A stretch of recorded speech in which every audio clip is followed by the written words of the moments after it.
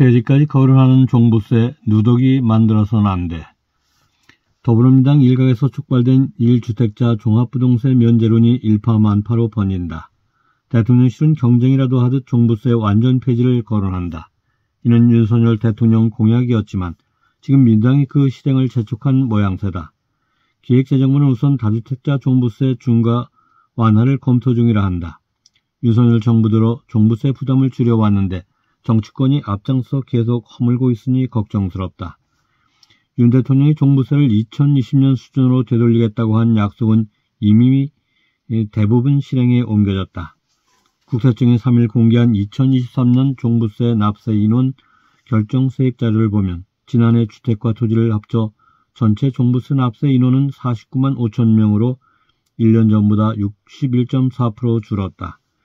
이들이 낸 세금은 4조 2천억 원으로 37.6% 감소하면서 2020년 3조 9천억 원 수준을 조금 못들었을 뿐이다. 그동안 집값 상승을 고려하면 종부세 부담이 이미 크게 완화된 것이다. 과세 형평성, 제도 안정성을 높이기 위해 추가 정비를 해야 할 부분이 있겠지만 큰 폭의 추가 감세가 정당성을 갖기는 어렵다. 민주당 일각에서 1주택자 종부세 면제를 거론하는 것은 과하다. 기본 공제액을 현 공시가격 12억 원에서 16억 원으로 올리자는 주장도 지나치다. 종부세 과세 대상을 극도로 줄이는 건 종부세를 징벌적 과세라고 비판하는 사람들에게 명분을 줄 뿐이다. 아울러 종부세를 폐지하거나 재산세에 통합하자는 대통령실의 주장은 국세인 종부세를 신설한 이유를 무시하는 것이다. 개정이 필요한 부분은 과표 구간, 세율 조정으로 해결하는 것이 온당하다.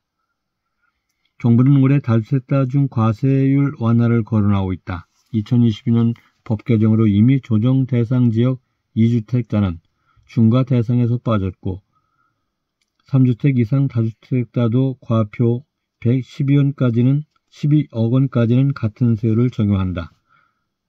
다주택자 중과세 완화가 과연 명분이 있는가?